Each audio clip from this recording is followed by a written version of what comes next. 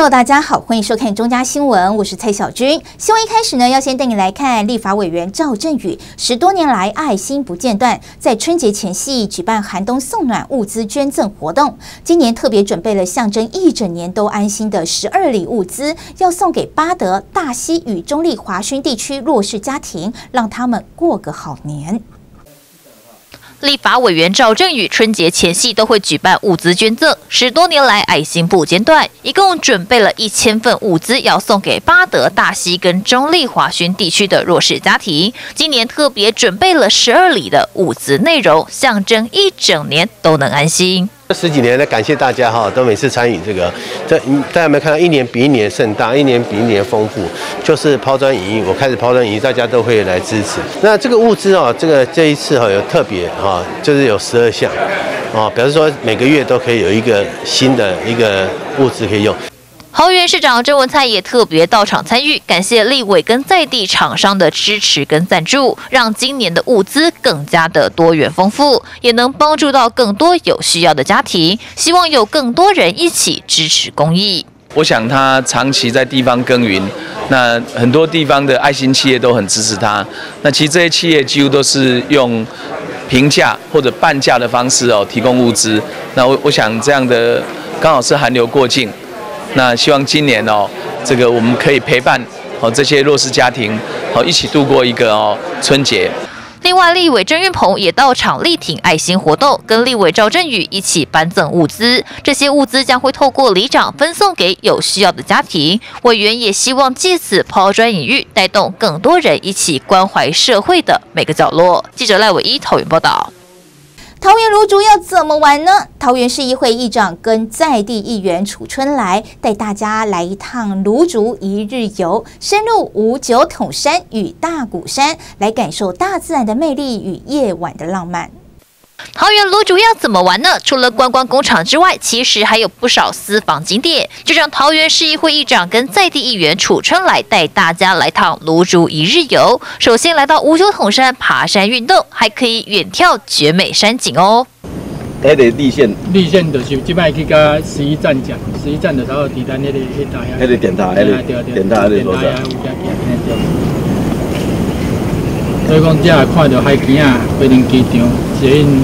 那个机场捷运，还有这个桃园市啊、中立市啊，都看得到。嗯，最远还可以看到那一个杨梅去呢。我就跟你讲真的，这里、这里、这里是他当乡长的时候就开始规划。接着来到由北台湾小奈良之称的山脚路场，可以跟梅花鹿、水鹿近距离互动，还有手作 DIY 可以玩，不管是大人小孩都能在这里找到乐趣。啊，其实里面有这个梅花鹿跟水鹿啊，啊，可以说是小朋友哈来这边啊享受 DIY 啊最好的跟雨露亲近的最好的一个地方啊，所以有别称有我们芦竹三角的小奈良之称呐啊，所以说这边哦啊如果有空的话来到这边跟鹿互动。我相信你，让你的心情会更放松。最后，跟着议长的脚步来到大鼓山，享受浪漫的夜景跟微凉的山风，搭配上香醇的咖啡，超级舒适。还可以看到机场的灯光跟飞机哦。啊，我们现在的所在的地方就是芦竹区的这个大鼓山，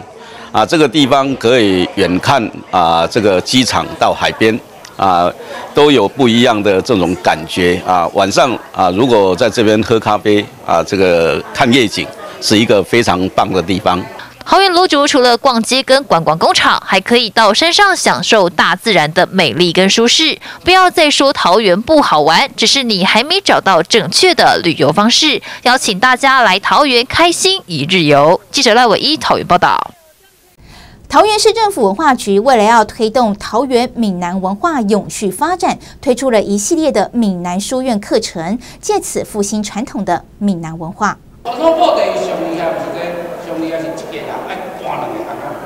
您有看过传统的闽南布袋戏吗？有趣的布袋戏表演，搭配专业老师的讲解，让台下观众笑声不断。桃园市政府文化局为了推动桃园闽南文化永续发展。因此，特别推出一系列的闽南书院系列课程，并举办成果展。台语的这个呃艺术性，我们也透过一种推广教育来把它提升。包括像我们传统的布袋戏啊，闽南的歌仔戏，还有这个一些这种咖喱啊咖喱戏，我们都把它进入校园，去让学生哦，透过这个呃面对面的学习哦，让他知道说哦，原来我们台湾有这么多非常丰富而且精彩，而且甚至是非常有艺术价值的这些传统戏曲啊。透过这样的一个学习，通过进入校园，透透过我们闽南书院开开启的各种不同的学习课程，来让它广为流传。桃园市政府文化局推出的闽南书院系列课程，共有五大规划，包含闽南传统民俗建筑介绍、南北馆介绍与赏析、闽南语歌曲教学、台语书艺教学及传统技艺进校园等课程。而经过四个月课程的陶勋，学员们也受益良多。课程上面呢，老师有带到有关于闽南语的一些呃语文的历史，还有这些语文呃所发展出来的歌唱。这些歌唱呢，它每一首歌都有它的历史背景，都有它的意义。那在课堂里面呢，我们呃透过老师的嘴巴，然后介绍。本来从小的时候都是只知道说我们闽南文化只有歌仔戏，不知道南管还有一些梨园的一些戏曲。所以说在这一次的话，老师的这个这八堂课的指导，让我们知道在那个泉州的戏曲里面，举手投足等等的那个小生。那个学的很多，闽南文化对于许多民众来说或许不陌生，不过仍有部分的传统闽南文化因为时代的演变，因此逐渐消失。对此，桃园市政府文化局透过开办闽南书院系列课程，不仅复兴传统闽南文化，同时也要让民众更认识闽南文化之美。记者王志军团报道。再带你来看，南坎社区发展协会为了让长辈能重拾年轻活力，并让身体保持健康，因此特别举办了孝亲日暨成果展。而协会也透过展示长辈的手作艺术品及亲子互动游戏等活动，让社区长辈的生活更精彩。台上老师专业且充满活力的舞蹈，不仅带领台下长辈跟着一起跳起来，同时也为南坎社区发展协会的孝亲日记成果展拉开序幕。而南坎社区发展协会举办的孝亲日记成果展，也让关怀据点的长辈直呼很好玩。我们的校庆活动是非常的好玩，祖孙在这边共聚一堂，天伦之乐，非常美满的幸福的感觉。在校庆活动是更棒的，因为老人家带着那晚辈过来。然后做各种活动，有年轻人在一起，那这个活动是更有更有活力了。有做一些手工艺，所以就激发老人家的一些生活乐趣嘛。这么大的年纪能够来这里哦，真的实在是很高兴，太好了，办得太好了，真的，让我们都重新把那个头脑都恢复起来。南坎社区发展协会为了让长辈能重拾青春活力，并让身体保持健康，因此特别举办孝亲日及成果展。而协会也透过安排舞蹈带动跳及亲子互动游戏等活动，期望要为社区长辈留下快乐的回忆。啊，咱今年哈，一年一度南坎社区照顾关怀据点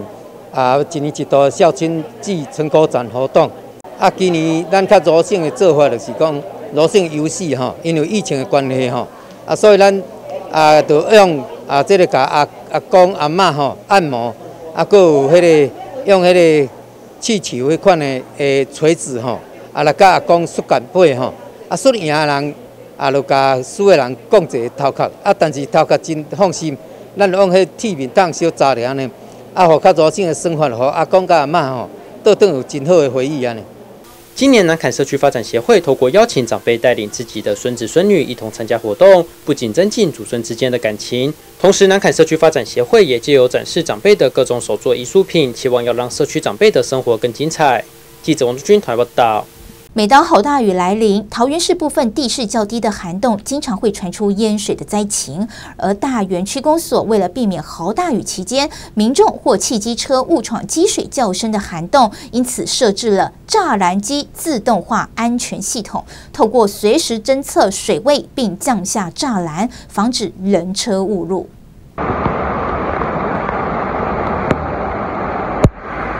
去年八月的台风哈洛比袭台，位在桃园市大园区中正东路一段八百四十巷的国道二号涵洞，也因为强烈的好大雨，导致涵洞出现严重的淹水灾情。对此，大园区公所特别设置自动化闸门，期望要监控水位，保障民众的安全。这个涵洞就是说，它就是在逢那个好大雨的时候，因为它是最低点的话，就是这附近所有的排水都都会排到这边来，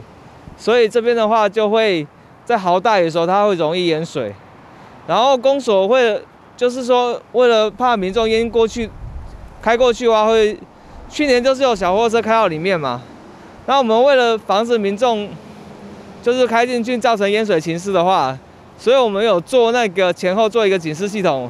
大园区公所为了避免豪大雨期间民众或骑机车误闯涵洞，因此特别斥资一百六十万元，在中正东路一段八百四十巷的国道二号涵洞两端设置栅栏机自动化安全系统，透过随时侦测水位并降下栅栏，要防止人车误入。我们公所花了一百六十万做了一个自动监测化系统，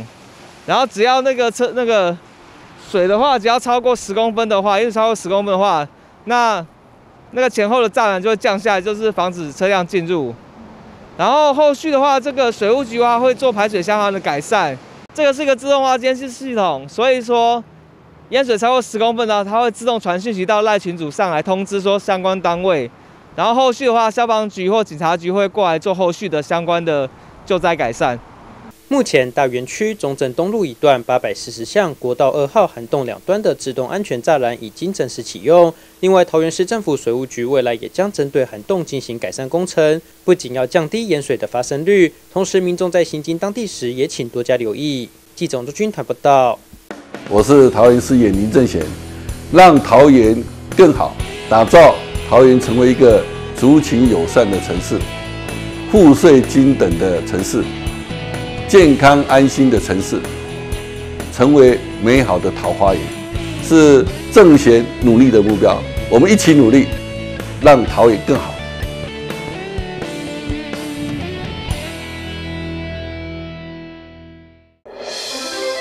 这是年轻活力的桃园。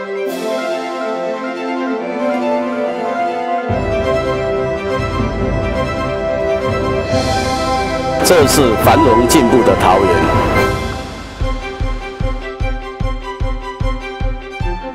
这是热闹丰收的桃园。